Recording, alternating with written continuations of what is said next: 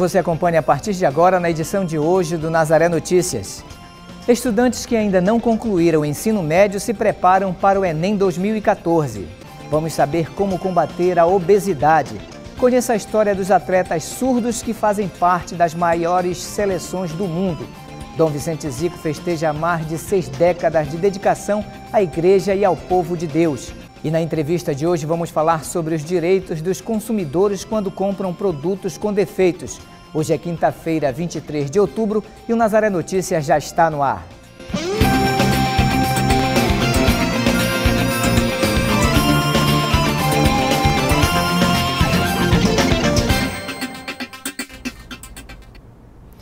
A edição desta quinta-feira começa falando de educação.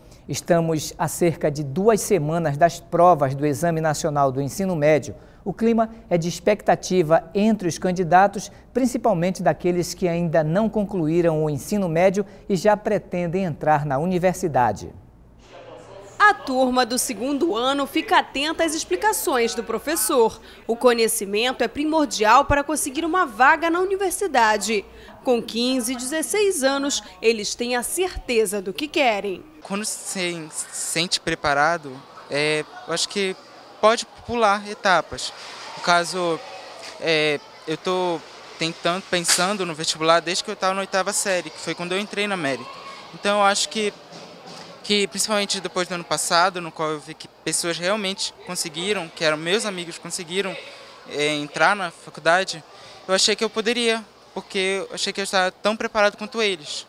O Enem é a porta de entrada para as principais universidades. Para preparar os estudantes, esta escola criou uma equipe especial, a Turma Mérito. Foi uma ideia que nós criamos para que nós pudéssemos fazer uma turma especial e prepará-los diretamente para o vestibular. Porque há muitos alunos na nossa escola, mas muitos deles estão preocupados mais com a aprovação na escola. Então, nós queríamos criar uma cultura no impacto de vestibular desde muito cedo, e para isso nós pensamos na Turma América. A carga horária da turma é diferenciada, bem como a equipe de professores. Para fazer parte da turma, os alunos devem ter média 8. Ano passado, 14 alunos da turma Mérito saíram da escola direto para a universidade, ainda no segundo ano, com uma média de idade de 15 a 16 anos. E este ano, mais 45 alunos estão se preparando para passar pela mesma situação.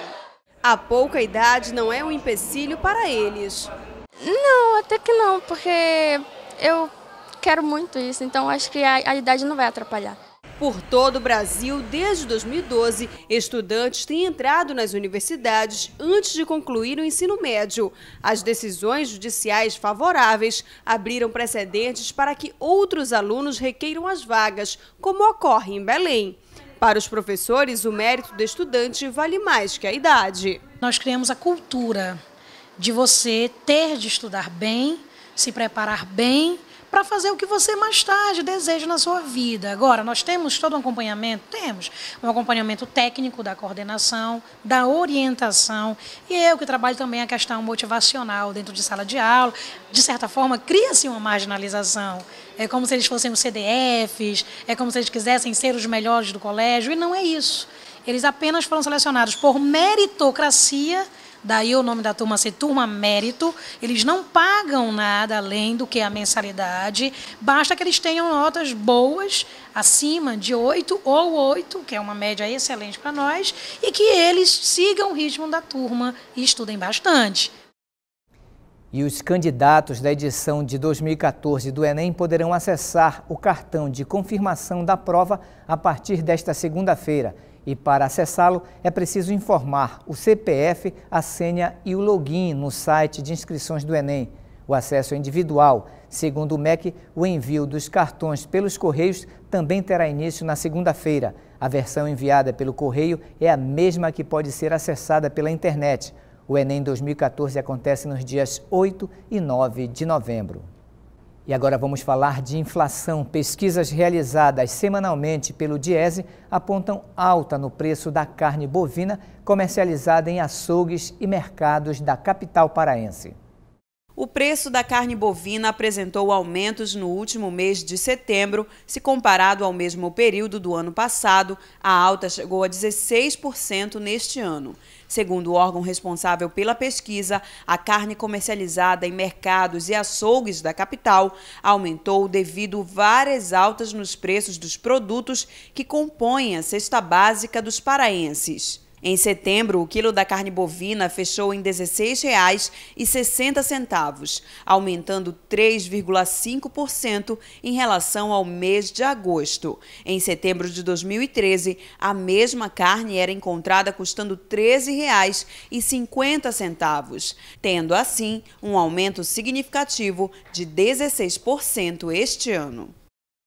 Até esta sexta-feira, os consumidores de Parauapebas, no sudeste do Pará, terão acesso ao pescado comercializado a preços mais acessíveis na Feira do Pescado em diferentes pontos da cidade. Durante os dias, serão colocadas à venda cerca de 20 toneladas de pescado. Na próxima semana, a Feira do Pescado será realizada em Tucuruí. Muitas pessoas têm problemas durante a compra de produtos, principalmente quando eles são entregues diretamente nas residências e chegam com algum tipo de problema. Esse é o tema da entrevista de hoje com o advogado Paulo Barradas. Ele está com Patrícia Nascimento e vai tirar as dúvidas dos consumidores em relação a este tema. Não é isso, Patrícia? É isso mesmo, Marcos. No nosso quadro Direitos, hoje nós estamos recebendo o advogado Paulo Barradas para falar sobre os direitos do consumidor no caso de produtos com defeito, com a entrega fora do prazo. O importante é o consumidor saber que ele pode reclamar, não é, doutor Paulo? Não só ele pode reclamar, como ele tem a força e o condão de resolver o problema.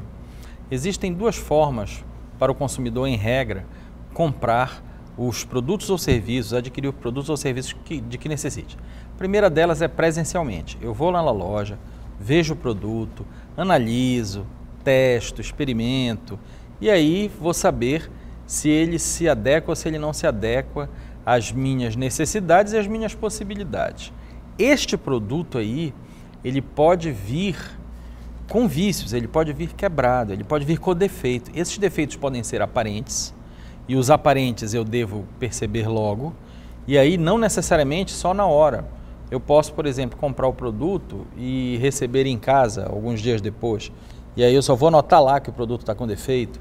Eu posso levar para casa e não usar imediatamente, mas alguns dias logo eu tenho para identificar que ele está com defeito ou com alguma impropriedade, e aí eu volto com o fornecedor para ele resolver. Ele tem 30 dias para resolver. Se ele não me resolver o produto, não me deixar aquele produto perfeito em 30 dias, eu posso exigir a troca, eu posso exigir a devolução do meu dinheiro. Atenção, eu não estou falando de crédito, estou falando da devolução do meu dinheiro, porque eu, consumidor, não posso ficar amarrado a uma compra naquele mesmo estabelecimento. Eu posso ter o dinheiro de volta para comprar o mesmo produto em outro lugar ou outro produto que faça a mesma função, que seja melhor. Ou então exigir o abatimento proporcional ao defeito do produto. Esse, esse é uma, essa é uma situação. O produto, no entanto, esse que eu comprei lá fisicamente, ele pode ter defeitos ocultos. E aí eu vou dar um exemplo hipotético. Vamos dizer que eu tenho uma loja que vende celular, mas eu, na loja, eu guardo meu estoque em local inadequado. Eles ficam lá pegando chuva, celular que ainda não foi vendido. Fica lá pegando chuva, pegando umidade. Aí eu vendo o celular para o consumidor e logo a placa vai enferrujar. Claro, em virtude da, da minha incapacidade de armazenar o produto. Isto é um vício oculto, é aquele que não vai ser percebido logo, mas com o uso ele passa a ser percebido. O, na mesma forma, o consumidor ele deve se referir ao consumidor, ao, ao fornecedor dele e exigir as três coisas. Bom, 30 dias para resolver. Se não resolver, uma das três, ou devolução ou abatimento, ou é, a, a, Quando o senhor se refere a fornecedor, a doutor Paulo, o senhor se refere à loja que vendeu o produto ou ao fabricante? Quando eu me refiro a fornecedor, eu me refiro à loja que vendeu o produto, detalhe, e não à assistência técnica, porque às vezes a loja diz, não, é lá com assistência técnica, vá lá e se vire para lá. Não, a assistência técnica tem 30 dias para me recompor o produto. Não recomposto, eu volto para o fornecedor, porque foi ele que me vendeu aquele produto como perfeito. Eu paguei o preço. Quando o, o consumidor paga o preço, o vendedor ele tem que entregar o produto perfeito, porque foi isso que foi adquirido, a menos que o produto tenha sido vendido mais barato porque tinham avarias, mas disso o consumidor tem que estar avisado. Ainda temos uma segunda situação, que é aquele produto que é adquirido fora do estabelecimento, por catálogo, pela internet ou por algum meio que eu não, não tenho o produto fisicamente em minhas mãos. E aí, além de tudo isso que vale para a compra presencial, eu ainda tenho sete dias para me arrepender, porque na hora que eu tenho o produto na minha mão, ele pode exatamente não coincidir com a imagem que me mostraram. A gente percebe, por exemplo, em algumas lanchonetes, que quando a gente entra, normalmente as lanchonetes de marca, elas têm um sanduíche que é o carro-chefe. E esse sanduíche na foto é imenso. Aí a gente pede o sanduíche, ele vem um sanduichinho desse tamanho. Ou seja, a foto não condiz com a realidade. E aí eu tenho sete dias para me arrepender. Nas compras pela internet funcionam com as mesmas regras, doutor Paulo? Absolutamente as mesmas regras e o consumidor continua sendo consumidor, o fornecedor continua sendo fornecedor. Mesmo em caso de lojas fora do país ou fora Quando do a loja estado. é fora do país, aí a gente tem é, um, um, problema de, da exigibilidade da lei brasileira fora do país. Mas o produto foi anunciado aqui dentro, logo ele está afeto às nossas regras. A venda feita pelo consumidor à distância vai ter um terceiro elemento aí, que é a transportadora, que às vezes também atrasa a entrega. Isso tudo aí é responsabilidade do fornecedor, quando ele escolhe a transportadora. A entrega tem que ser feita na hora, sob pena de desistência. Se eu não recebi meu objeto na hora, minha compra na hora, meu produto na hora, eu posso não querer mais. E, mas a, todas as regras do direito, do, do direito do consumidor, do Código de Defesa do Consumidor, estão valendo e toda a rede de proteção ao consumidor também atua nas, nas vendas feitas pela internet. Caso a loja, o fornecedor, não cumpra com seu dever quando for reclamado pelo, pelo consumidor e aí precisa entrar numa dimensão judicial para recorrer, o consumidor precisa se munir de provas, de que forma ele pode é, se preparar para requerer os seus direitos? É muito importante que o consumidor prove como foi a oferta para poder justificar que aquilo que foi entregue a ele não condiz com a oferta. Então, quando eu estou na loja, a situação de oferta, se eu puder guardar folders da loja, apresentação, melhor ainda, tá? A nota fiscal, para comprovar que houve a transação. Pela internet, o que é interessante? Interessante é eu dar print, eu imprimir as páginas do produto que está me sendo oferecido, das condições, prazo de entrega, para eu poder comprovar que a oferta foi feita de uma forma e a entrega, no caso do, do conflito, acabou sendo de forma diversa, para, a partir dessa prova, o consumidor fazer valer seus direitos. No caso dos vícios ocultos aos quais o senhor se referiu, isso fica um pouco mais complicado, não é, doutor Paulo? Em relação aos vícios ocultos, fica um pouco mais complicado, mas a depender de perícia, fica facilmente comprovável pela perícia se aquele defeito apresentado foi pelo uso indevido ou foi pela má conservação do produto ou pela, eh, enfim, é, falta, é, forma de estoque indevido. A perícia ela vai dizer o que ocasionou aquele defeito e assim nós vamos deslindar, nós vamos desvendar a verdade. Só para ficar claro para o consumidor os passos que ele deve tomar a partir da identificação de um defeito num produto que ele comprou porventura. Então ele deve procurar primeiro a loja, depois o Procon e depois o Poder Judiciário. Primeiro a loja, que foi a loja que vendeu para ele e disse que aquilo era perfeito. Depois, em regra, assistência técnica, porque são os 30 dias que a loja tem para recuperar e para é, entregar o produto conforme anunciou.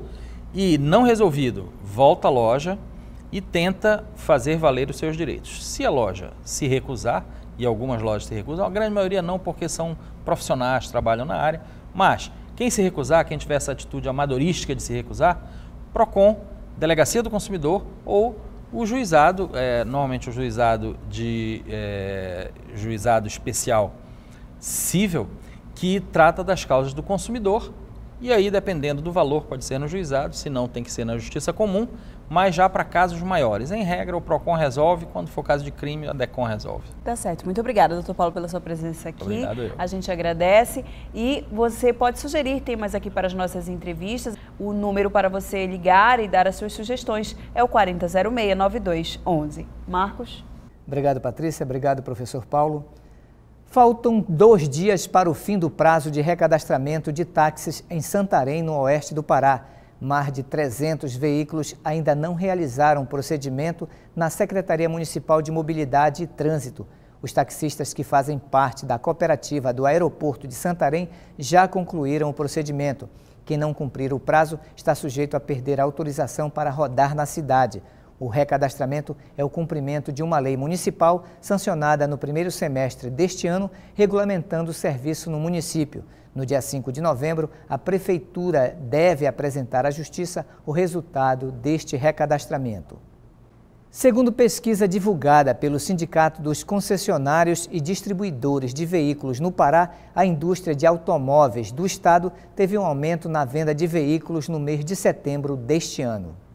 O número de veículos vendidos no mês de setembro foi 6,53% maior do que o registrado no mês de agosto deste ano contabilizando todos os veículos emplacados, como motocicletas, ônibus, carros e caminhões, foram comercializados mais de 12.700 unidades.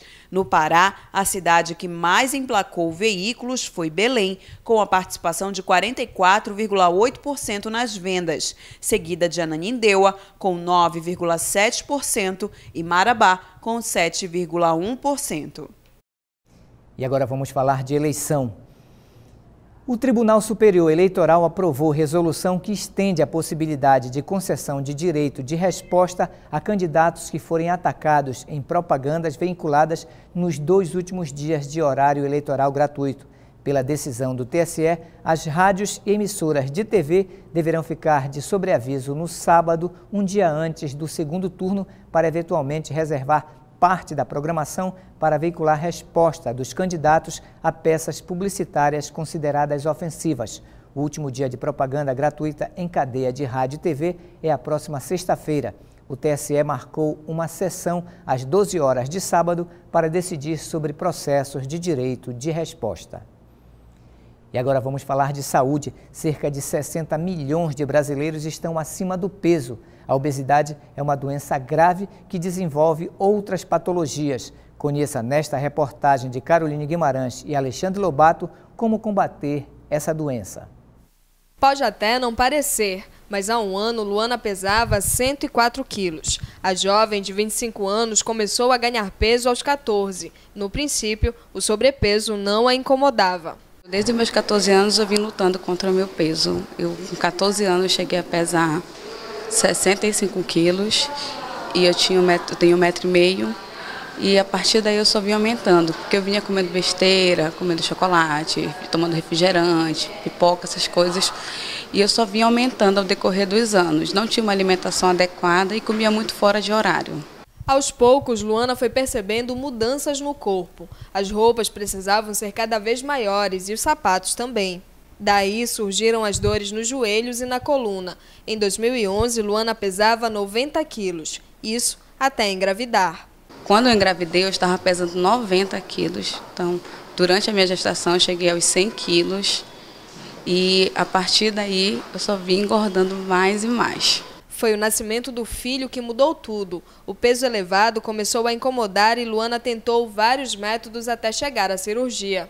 Tentei outros tratamentos, procurei nutricionista, endocrinologista, fiz a utilização de remédios, já não cheguei a perder nenhum quilo fazendo a utilização do remédio. Foi quando eu procurei o Dr. Marcelo Magalhães e fui me informar sobre a cirurgia. Foi o médico Marcelo Magalhães quem cuidou de Luana. A Luana, em especial, foi realmente uma pessoa que nos procurou.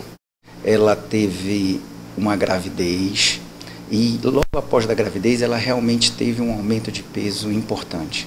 Tanto é que ela estava com a obesidade grau 3. E nesse momento, então, nós discutimos com ela e indicamos um novo tratamento. A cirurgia é recomendada em duas situações. Quando esse paciente ele tentou vários tratamentos dietéticos, outros especialistas, médicos, psicólogos, há mais de dois anos sem sucesso e que realmente o seu IMC se caracteriza de 35 a 39,5 com doenças associadas ou acima de 40, esse paciente tem uma indicação formal e teria condições de ter resultados muito bons com o tratamento cirúrgico. A obesidade afeta hoje cerca de 60 milhões de pessoas no Brasil. Desse total, quase 22 milhões são crianças. Uma doença que tem diferentes fatores, mas os principais são sedentarismo e hábitos alimentares. Obesidade ela é um acúmulo de tecido adiposo no organismo, ou seja, é o excesso de gordura no corpo. Uma forma muito simples e direta de saber é o IMC, o índice de massa corpóreo. É um cálculo matemático simples e que resulta no peso pela altura ao quadrado. Ele vai te determinar um determinado valor. Por exemplo, se esse valor ficar no patamar de 24, esse paciente ele é considerado de peso normal. Se esse paciente tem, por exemplo, 35 de IMC, esse paciente ele é considerado uma obesidade grau 2. E se ele tiver acima de 40, ele é um paciente que tem características de obesidade grau 3 ou mais conhecido atualmente como obesidade mórbida. A tendência maior desse paciente vir a desenvolver, por exemplo, diabetes. Então, sem dúvida nenhuma, a obesidade traz consigo riscos muito maiores. Pessoas obesas tendem a apresentar outros problemas de saúde. As mais comuns são a apneia do sono, por exemplo, aquele paciente que ronca muito, que tem aquele período de, de, de realmente perder o padrão respiratório. Né? Você tem doenças articulares, hoje você tem dores articulares, problemas de coluna, taxas de colesterol, triglicerídeos elevadas, alteradas. Então, tudo, todas essas são doenças que estão relacionadas com o peso. Uma doença que requer cuidados e que, se tratada e combatida, permite à vida mais saúde e alegria. Outra Luana. Uma Luana renovada, uma Luana com saúde, uma Luana que quer viver. O Ministério Público do Estado do Pará realiza nos dias 29 de outubro a 6 de novembro, em Belém, uma ação de reconhecimento voluntário de paternidade o objetivo é beneficiar alunos de escolas públicas que não possuem o nome do pai na certidão de nascimento. A ação ocorre por meio do projeto Defesa da Filiação nas Escolas Públicas. Ela é destinada ao atendimento de cerca de 332 alunos que não possuem a paternidade declarada e aos cidadãos que comparecem para atendimento. E você acompanha ainda nesta edição. Conheça a história dos atletas surdos que fazem parte das maiores seleções do mundo. E Dom Vicente Zico festeja mais de seis décadas de dedicação à igreja e ao povo de Belém. Voltamos falando de Sírio de Nazaré. Na última terça-feira, na concha acústica da Praça Santuário, foi a vez do cantor goiano Tony Alisson se apresentar no Sírio Musical. Centenas de fiéis acompanharam o show do artista, que tem 13 anos de carreira. A maioria das músicas cantadas por Tony Alisson são de sua autoria. É o amor de Deus que mexe, mexe, faz o coração bater. E na noite de ontem, a banda Dominus se apresentou na Praça Santuário de Nazaré. Diga pro povo que fui, fui encontrar Jesus assim. Fui encontrar Jesus. Fui encontrar E hoje à noite será a vez de Adriana Aride se apresentar no Círio Musical. O show começa logo mais às 8 horas da noite e a TV Nazaré transmite o show a partir das 10 horas. E você acompanha agora a previsão do tempo para amanhã na Amazônia.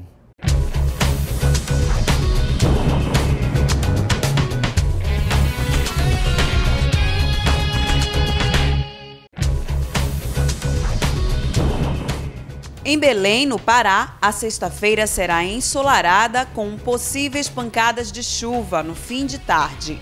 A temperatura mínima fica em 23 graus e a máxima em 33. Em Santana, no Amapá, o tempo será parcialmente nublado. A temperatura mínima será de 24 graus e a máxima de 34. E em Rio Branco, no Acre, o tempo será de sol com nuvens. A temperatura mínima será de 22 graus e a máxima de 29.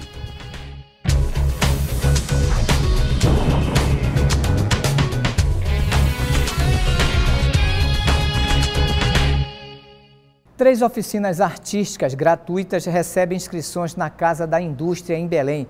Os cursos fazem parte da programação da 11ª edição do Festival SESI Bonecos do Mundo e ocorrem de 29 de outubro a 7 de novembro. Cada oficina oferece 20 vagas. A capital paraense será a primeira a receber o evento. As oficinas são bonecos quadro a quadro, confecção, composição cênica e dramaturgia de animação e drama com corpo. Os próprios artistas do festival serão responsáveis pelas oficinas. As inscrições podem ser feitas pelo telefone 4009 5026. Os cursos serão realizados na Casa da Indústria, na Travessa Quintino Bocaiúva, no bairro de Nazaré. Neste sábado acontece pela primeira vez no Sírio de Nazaré a Romaria dos Corredores. Ela foi incluída este ano no calendário da festa como a décima Romaria oficial. Larissa Cristina tem mais informações. Marcos, a corrida de rua já é tradicional na capital paraense. Durante as noites e as manhãs, são vários os grupos que percorrem as ruas da capital fazendo este exercício para trazer muita qualidade de vida. Por isso, este ano resolveu entrar como uma romaria oficial do Círio de Nazaré, a Romaria dos Corredores. Ela foi idealizada e organizada também pelo diácono Emmanuel Duarte, que está aqui com a gente. Emmanuel, vai ser um momento de grande confraternização entre esses grupos que fazem a corrida de rua em Belém.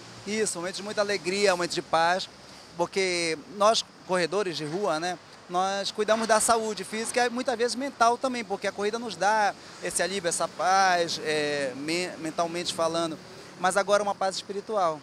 Porque pedir a proteção de Deus, todo dia nós precisamos pedir, como qualquer esporte, tem os acidentes, tem os riscos, tem as lesões, e também agradecer a Deus. E hoje, de uma forma bem especial, no momento mais propício da fé do povo paraense, que é a Nossa Senhora de Nazaré e a seleção muito grande. Vamos reunir os grupos de corrida que hoje, grupo de corrida em Belém, principalmente, deixa de ser somente um grupo para praticar esporte, se torna um grupo de família. Pessoas que saem, viajam juntos, que já fazem ações sociais juntos. Então é hora também de termos o nosso momento de devoção à Nossa Senhora de Nazaré. Agora vamos entender, mano, então como vai acontecer essa Romaria dos Corredores? Qual vai ser o trajeto, o tempo, quem pode participar? Olha, qualquer pessoa pode participar. O, o percurso total tem 7 quilômetros, né? Mais de 7 quilômetros no ritmo mais lento, para que as pessoas não tenham aquele negócio, ah, um vai correr mais, outro vai correr menos, é, vai chegar primeiro, porque não é uma competição, não tem premiação, não tem medalha. Então vamos sair da Praça Santuário, 14 de março, governador José Malcher, Assis Vasconcelos, Oswaldo Cruz, que é ao lado da Praça da República, desce a Riachuelo, todinha. Padre Eutíquio, João Diogo, que passa aí pela Praça da Bandeira, frente dos quartéis, e depois damos aquele contorno ali pela frente do fórum, da, da Assembleia Legislativa da Praça e damos a volta na Catedral, na frente da Praça da Catedral, onde deve fazer uma paradinha, uma oração e retorna. Desfaz ali o caminho das praças e pega 16 de novembro, Almirante Tamandaré, Gama Abreu, até pegar a Avenida Nazaré e retornar para Santuário. Quando nós fizemos o treinamento do percurso, deu um, menos de uma hora, mas com um, número muito maior de participantes, de romeiros, corredores, deverá chegar a mais de uma hora com certeza, mas nós não teremos pressa. Por isso, qualquer pessoa pode participar. Eu não sou corredor profissional, comecei a correr. Experimente, fique com a gente, porque vai ser um ritmo lento, um momento de devoção. Não é caminhada, é corrida, mas um ritmo bem lento, um ritmo de trote, como nós dizemos, para chegar e todo mundo devocionar Nossa Senhora. Agora, Emmanuel, a Romaria já acontece neste sábado, a partir das 5 e meia da manhã. Como é que está a expectativa, a organização? Já se tem um público estimado? Eu acredito que a gente passe das mil, de mil pessoas participantes, porque hoje o grupo de corrida são muito numerosos, muitos aceitaram, muitos já, já deram para a gente que vão participar, já disseram para a gente que vão participar. É, a diretoria da festa tem uma grande aceitação e nós vamos sair às 5 e meia da manhã da Praça Santuário. Né? Basta chegar lá, ah, mas eu não, não quero me inscrever, não precisa inscrever, precisa pagar, não precisa pagar nada. Basta querer. Assim como a corrida de rua, basta você ter um par de tênis ou não, porque tem gente que corre descalço. Basta querer ir. A Romaria dos Corredores é para isso, para que todos nós, corredores, possamos participar e nos dê esse momento de agradecimento à Nossa Senhora. Obrigada, Emmanuel, pelas suas informações. Fica o convite, então, Marcos, a todos que quiserem participar da primeira Romaria dos Corredores. É a partir deste sábado, às 5 e meia da manhã, com saída na Praça Santuário. Eu volto aí no estúdio, é com você. O sonho de qualquer atleta é ser reconhecido e participar de grandes seleções. Para quem mora no Brasil, ser convocado para a seleção brasileira é emocionante e são muitos os estados que têm essa oportunidade. Com o Pará não poderia ser diferente. Confira nessa reportagem a história dos atletas surdos que agora compõem uma das maiores seleções do mundo. As regras são basicamente as mesmas do futsal. O que muda aqui é a arbitragem, que ao invés de apitos, utiliza bandeiras.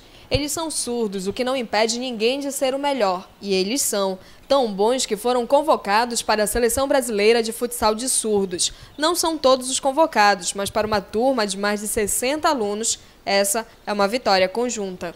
Para contar essa história, conversamos com o técnico Márcio Oliveira, que também foi convocado para compor a equipe técnica da seleção. Foi uma, uma experiência ímpar, né? porque Belém está completando 400 anos e nunca na história do município de Belém houve um atleta surdo na seleção brasileira. Então, para a gente, além de tudo, está sendo uma experiência, não só para mim, mas para eles também, né? uma experiência diferenciada. Então, o nosso projeto tem crescido a cada dia mais após a convocação deles para a seleção brasileira. Pelo trabalho que a gente vem desenvolvendo com eles, a seleção olhou para o Pará com uma forma realmente diferente e surgiu o convite, né? Então eu agradeci o convite, estou participando com eles que justamente no mês que vem a gente vai participar do Sul-Americano de Seleções, que a gente está brigando aí para ser campeão sul-americano. O trabalho com os jovens começou há cerca de um ano e oito meses através de um projeto municipal chamado Esportes Sem Fronteiras. Com treinamento, eles já são campeões paraenses e vice-campeões brasileiros de futsal de surdos. Nós começamos o projeto na época no Centro de Integrado a Pessoas com Deficiência, que é o CIG, né, por questão de espaço, estrutura realmente de espaço físico. Nós começamos o trabalho com dois atletas surdos e hoje temos mais de 60 alunos matriculados no projeto. Dentre os municípios de Belém, Mãe do Rio, Castanhal e outros municípios que vêm os alunos participar do nosso projeto. A gente participa do treinamento quatro vezes na semana, em torno de duas horas e meia, três horas por dia, normalmente pela parte da noite, já que a maioria dos atletas estudam, alguns trabalham, então a gente optou pela questão noturna para que a gente pudesse atender o maior número de pessoas possíveis. Eles treinam quatro dias na semana, um trabalho árduo que vem apresentando bons frutos. Para ser mais exata, cinco. Vamos conhecê-los agora. Dos atletas que participam do programa, cinco foram convocados para a seleção brasileira. Três deles estão aqui conosco. Nós vamos conversar primeiro com Rafael Borges, com o auxílio do Elielson, que vai nos ajudar nessa tradução. Elielson, eu queria que você perguntasse ao Rafael como foi que ele começou a jogar futsal. Eu comecei a jogar futsal desde sete anos e até hoje fiquei me melhorando, melhorando com o grupo Covid. Eu fui convocado à seleção brasileira e também eu vou para a Sul-Americana e a gente vai para em Caxias em novembro. Lucas Salustiano é um dos jovens que também foi convocado para a seleção brasileira. Eu queria que você perguntasse ao Lucas como foi receber esse convite. Eu fui convocado à seleção e fui para a Anápolis e a gente foi campeão. E do estado, do, do Belém do Pará, a gente foi campeão. E a NAPSE, treinamos, treinamos, foi muito bom o jogo, porque a, a gente é muito importante, foi muito bom. E a gente foi para Porto Alegre, a gente treinamos e esforçamos muito. A gente ficou melhorando até chegar lá, até esforçar muito. Outro atleta também convidado para participar da seleção é o Maurício Souza. Maurício, eu gostaria de saber se esse convite é importante para o reconhecimento do atleta surdo? Bom, eu pensando bem assim de treinar o, o surdo pela a, a, mãe do Rio e a gente foi treinando ser campeão. Foi no um dia o Márcio me viu, jogava na Gegel, né? Eu jogava no, no Anel, um dia no Campeonato Paraense, lá, teve lá. E o Márcio, eu era 10, né? O, o Márcio me apontava lá e eu voltei para a GGL. Pô, aí eu fiquei muito feliz, né? O Rafael mora em Belém, no bairro da Terra Firme, o Lucas em Castanhal e o Maurício em Mãe do Rio. Moram distantes uns dos outros, mas estão unidos por um sonho, o reconhecimento da pessoa surda dentro do esporte. Eles ainda nem foram para a seleção, mas já têm torcida organizada e até fãs.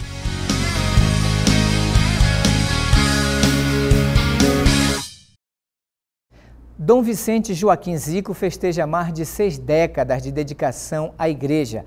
Ontem ele comemorou 64 anos de ordenação sacerdotal. Preparamos uma matéria especial que retrata um pouco do trabalho desenvolvido por Dom Vicente Zico à frente da Igreja de Belém e principalmente o carinho do povo paraense pelo arcebispo emérito. Dom Vicente foi o grande iniciador da Fundação Nazaré de Comunicação. Dom Vicente foi ordenado arcebispo coadjutor da Arquidiocese de Belém pelo Papa João Paulo II em 1981. Assumiu a arquidiocese como titular de 1990 a 2004. Mineiro, Dom Vicente poderia ter voltado à sua terra natal para junto da família após ter se tornado arcebispo emérito, mas preferiu permanecer na capital paraense, o que o fez ainda mais querido pelo povo de Belém, que manifesta sua admiração por ele sempre que tem uma oportunidade.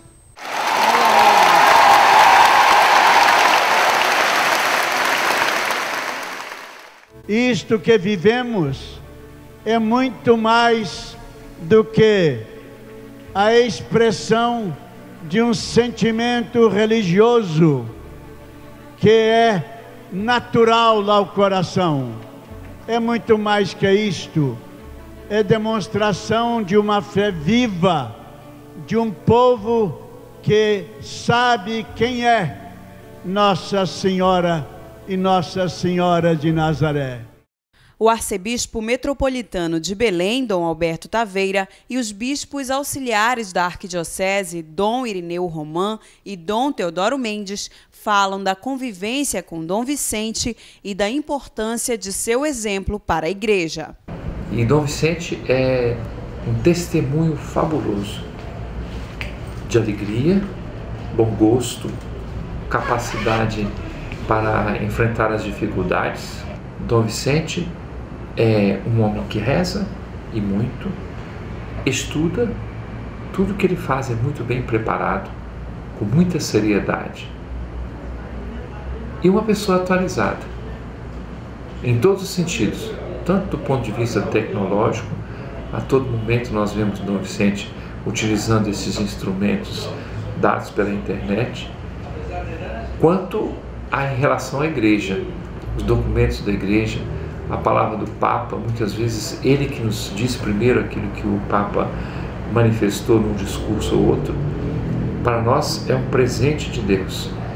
E eu gosto de dizer que Dom Vicente é o grande tesouro, é o grande anjo da guarda da nossa igreja de Belém. Assim eu o considero e manifesto a Dom Vicente esse meu desejo de muitas felicidades, que o seu sacerdócio se multiplique cada dia mais para o bem da igreja e o crescimento do reino de Deus. Eu gostaria de desejar os meus parabéns ao Dom Vicente Joaquim Zico, meu irmão no episcopado. É, ele é como se fosse um pai para mim. Eu tenho ele como um pai, um exemplo de irmão, de santidade.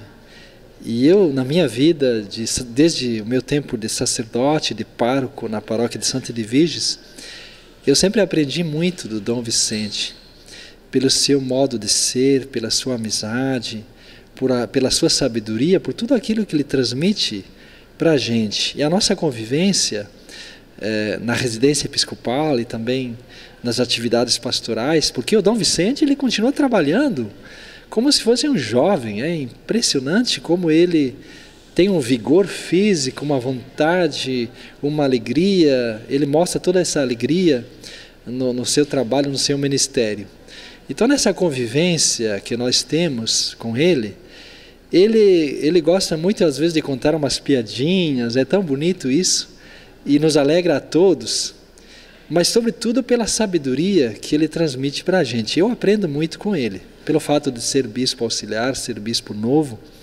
Então a convivência com o Dom Vicente para mim é uma aprendizagem a cada dia, a cada momento.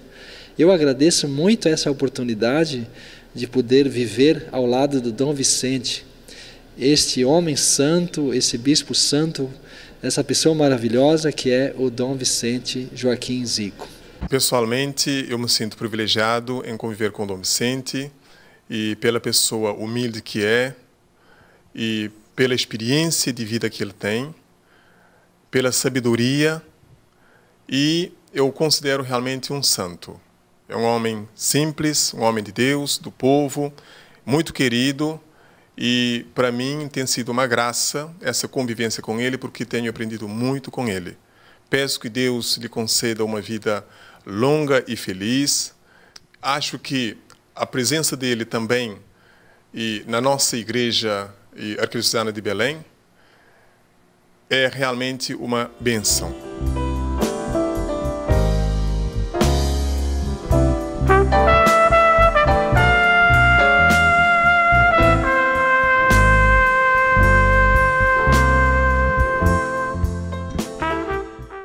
Deixo para todos, com muito afeto, a bênção de Nosso Senhor.